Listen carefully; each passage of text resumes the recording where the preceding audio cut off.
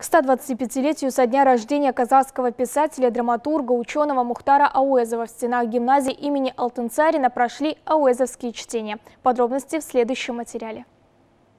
В этом году за победу боролись ученики 8-10 классов из школ Приритышья. Ауэзовские чтения проводились по трем направлениям. Первое – Ло Даланан, Зангар, Жазушысы. Здесь надо было выразить свои мысли в эссе по произведениям писателя, связав их с историей нации и содержанием национальной литературы. Второе направление – Улан Даланан, Ло Жаршысы – выразительное чтение отрывка из произведения Мухтара Ауэзова. И, наконец, третье направление – Мухтар Ауезов, Щебер Сюреткер – создание иллюстраций по произведениям писателя. Они соревновались в трех номинациях. Участвовали ученики 8-10 классов школ области. Все хорошо подготовились. В первой номинации лучше всех с эссе справилась ученица 10 класса специализированной гимназии для одаренных детей города Аксу Аида Каиржанова. Еще одна победительница, ученица 10 класса Павлодарской школы номер 2 Адиза Баужан рисовала смешанные техники – акварель и цветные карандаши. Выбрала поэму Иры Кибек Мухтара Уезова.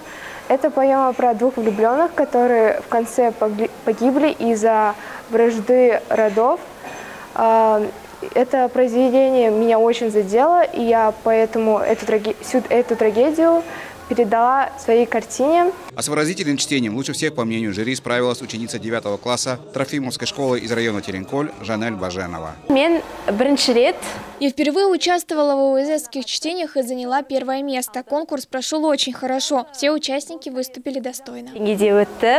Все ученики, принимавшие участие в ОУЗских чтениях, получили благодарственные письма за проявленную активность и достигнутые успехи. Мурат Белмажет и это Сахпарат.